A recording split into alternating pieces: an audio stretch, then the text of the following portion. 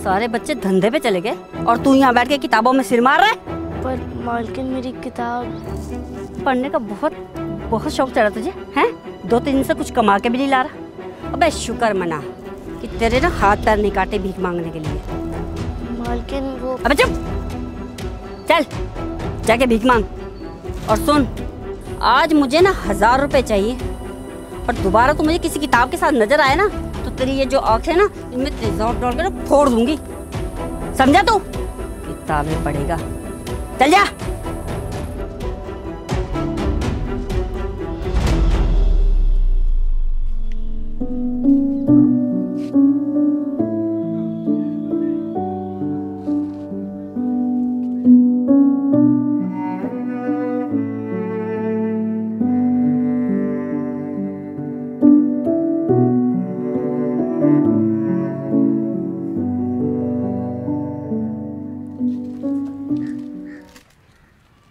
ओए, टिल्लू। तेरा यहाँ तो क्या कमा के लाया दिखा इधर?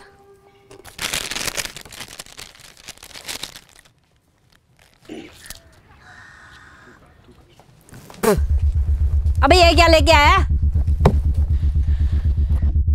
बोला था ना तुझे आज? एक हज़ार रुपये बोला था ना? समझ में नहीं आया? मालकिन, मैंने बहुत कोशिश करा, पर कुछ नहीं मिला। मैं कल पक्का ले आऊँगा। कल? कल तक तो मैं इंतज़ार नहीं कर सकती। एक काम करती हूँ आज तेरी आँखें फोड़ देती हूँ। नहीं मालकिन मैं कल कल पक्का ले आऊँगा। भाई। अबे जल्दी बोल। ये देखो बच्ची चुरा के लाया हूँ। उसको मस्त बेचेंगे और बहुत सारे पैसे कमाएँगे। अरे वाह आज तो तूने बहुत बढ़िया काम कर दिया। खुश कर दिया मुझे। और बेटा तू तेरी ना किस्मत बहुत अच्छी है कि तू आज बच गया। मेरा मूड चेंज हो गया। चल निकल ले। मालकिन इतनी छोटी सी बच्ची को क्यों चुरा लिया? अबे जा! उठ! साला।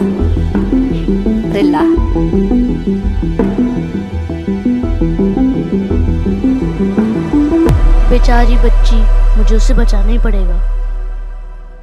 उन्हें भी बेच बेच के पैसे।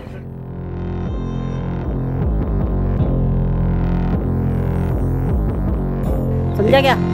जी एक जन से बात तो की है लेकिन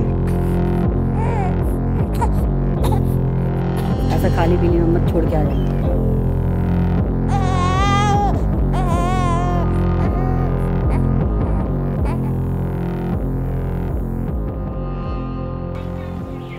चल देख लियो जो अच्छे दाम देगा। बच्चा कहाँ लेके जा रहा है? अबे मुँह क्या देख रहा है? पकड़ उसे।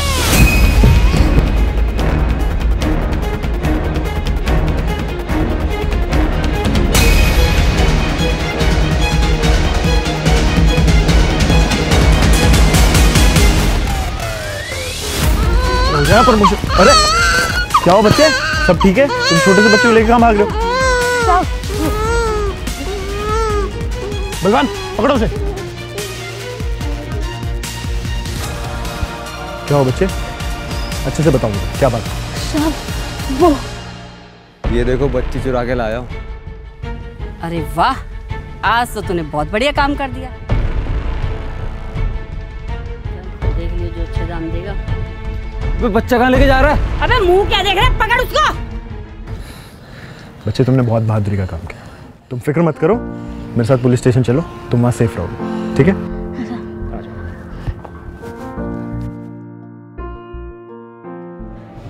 ये लीजिए आपका बच्चा।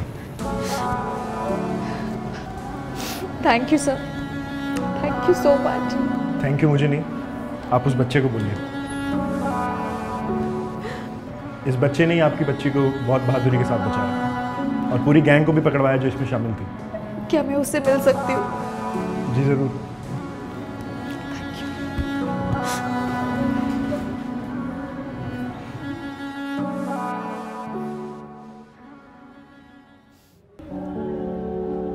बेटा आपका बहुत बहुत शुक्रिया। आज अगर आप नहीं होते ना तो शायद मैं अपनी बेटी को खो देती। कोई बात नहीं मेम साहब। मैं तो बस इस छोटी बच्ची की मदद करना चाहता था। बहुत बहुत शुक्रिया बेटा। कोई बात नहीं है साहब। बेटा तुम कहाँ रहते हो और क्या करते हो? मेम साहब पहले तो मुझे मालकिन ने अपने यहाँ रहने की जगह दी थी क्योंकि मैं उनके लिए भीख माँगता था। पर अब मैं रोड पर ही रहूँगा और भीख मांगूँगा क्योंकि मुझे तो सिर्फ़ वही आता है। तुम्हें कहीं जाने की ज़रूरत नहीं है। तुम मेरे साथ चलो ठीक है? आज के बाद तुम मेरे साथ ही रहोगे। सच में? मैं आपके साथ रहूँगा? हाँ तुम मेरे साथ मेरे घर में रहोगे। पर उसके लिए मुझे क्या काम करना पड़ेगा? तुम्हें कोई काम नहीं करना है। मैं तुम्हें अपने बच्चे की तरह रखूँगी। और स्कूल भी भेजूँगी। मैं स्कूल जाऊँगा और पढ़ूँगा। चलो चले।